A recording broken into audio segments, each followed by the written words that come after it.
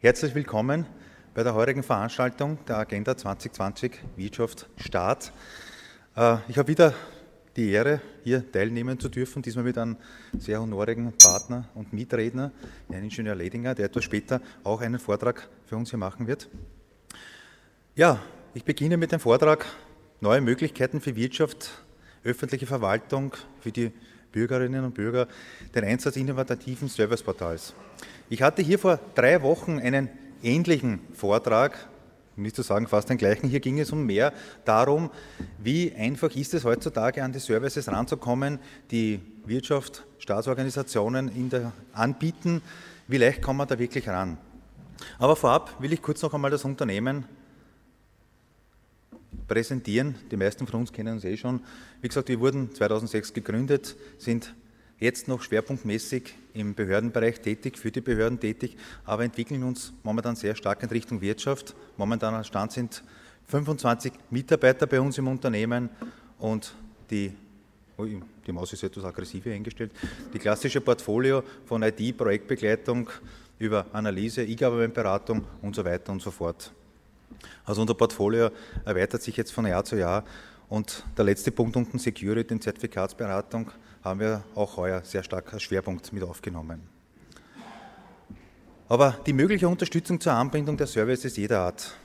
Die erste Folie quasi zu meinem Fachvortrag. Äh, ich hatte auch beim letzten Vortrag diese 80 Prozent der Unternehmen nutzen bereits E-Government Service. Das ist die Tatsache, dass sehr, sehr viele Unternehmen die vorhandenen Möglichkeiten nutzen, aber nur immer die Frage, wie nutzen sie diese Services? Beim letzten Vortrag bin ich darauf eingegangen, dass hier die Möglichkeiten vorhanden sind. Der Staat bietet hier wirklich sehr, sehr viele Zugänge, sehr, sehr viele Möglichkeiten. Nur wir haben immer wieder das Problem, dass von der Wirtschaft diese Möglichkeiten nicht zur Gänze genutzt werden.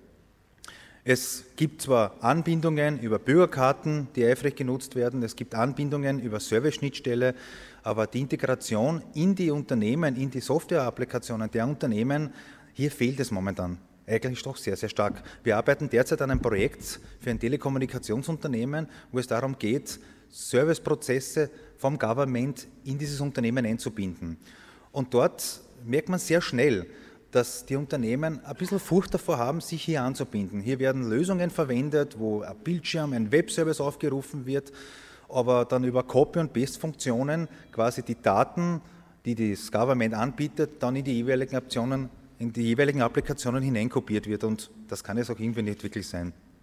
Und hier, wie gesagt, Einsatz verschiedener Lösungen und Zugangsvarianten ist einfach, wie gesagt, es wird eine Web-Applikation aufgerufen und da wird eine Liste ausgegeben, zum Teil werden PDF-Dokumente ausgedruckt, nur in Zeiten wie dieser ist ein bisschen rückschrittlich, muss man fast sagen. Darum auch die nächste Folie, ich hoffe, die springt nicht zu weit rüber. Wie nutzen wir die aktuelle Nutzungssituation zwischen E-Government und Wirtschaft? Also wenn wir quasi das Government ist hinter einer Tür, muss es auch sein aus Sicherheitsgründen. Wie gesagt, es kommt dann auch einer Mauer. Aber wie nutzt im Moment die Wirtschaft diese Möglichkeiten? Indem sie teilweise aufgrund der vorhandenen Möglichkeiten durch ein Schlüsselloch schaut. Ich hoffe, Sie sehen den Wirtschaftspartner, äh, zumindest das eine Auge und das Grinsen von ihm sieht man im Hintergrund. Er schaut wirklich das Schlüsselloch durch. Er nutzt einfach die Möglichkeiten noch viel, viel zu wenig. Und wir haben uns das zum Thema gemacht um hier neue Möglichkeiten zu schaffen.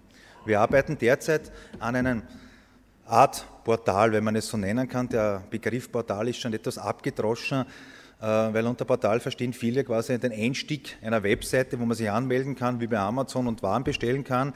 Äh, der Begriff Portal von Government-Seite ist klassischerweise das Standardportal, das angeboten wird.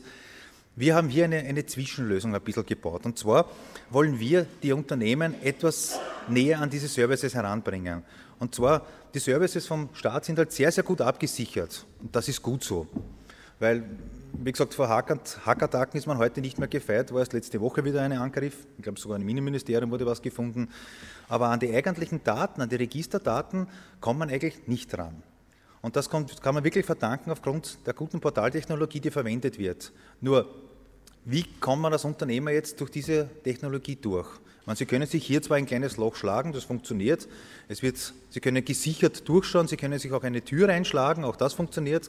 Die Anbindungen sind soweit okay, nur es ist sehr, sehr aufwendig. Meine, jedes Mal das schwere Arbeitsgerät in die Hand zu nehmen und bei jeder Anbindung Zeit zu benötigen und es läuft schon sehr, sehr viel Aufwand hinein. Und dann fehlt den Partnern auch wirklich das Verständnis, warum sind die Sachen so aufgebaut, weil es ist sehr, sehr viel rechtliches Rahmenwerk im Hintergrund, um quasi an diese Informationen und Daten heranzukommen. Deswegen haben wir uns Überlegungen gemacht und haben ein internes Soroban-Projekt gestartet. Und zwar nenne ich jetzt einmal lapidar B3-Projekt. Das ist ein Arbeitstitel, den wir Internet verwenden, um die Wirtschaftspartner schneller, besser und sicherer anzubinden. Und ganz, ganz wichtig, unter Einhaltung aller vorgegebenen Standards. Wir bauen derzeit ein Produkt auf, was jetzt geplanterweise jetzt in der nächsten Maiwoche in einen Probebetrieb geht und geplant ist für Ende Mai der Produktionsbetrieb eben mit diesem Telekommunikationspartner, wo wir eine vollständige Integration von Government Services in die Applikation des Partners machen. Und ganz, ganz wichtig, Punkt 2, unter Einhaltung aller vorgegebenen Standards und natürlich unter Einhaltung aller rechtlicher Komponenten. Wir haben einfach die Möglichkeiten in verschiedene Pakete zerlegt und können auf diese Art und Weise alle Formen und Möglichkeiten der Applikationen des Partners verwenden und einbinden, ohne dass der sehr, sehr großen Aufwand hat. Das heißt wirklich, er sagt uns nur seine Applikation, welche Services und egal, ob das jetzt ein Formular ist, ob das eine Applikation ist oder sonst was auch immer, wir können es da drinnen anbinden und können hier viel, viel, viel, mehr, viel, viel mehr Möglichkeiten bieten, als was es bis jetzt gab.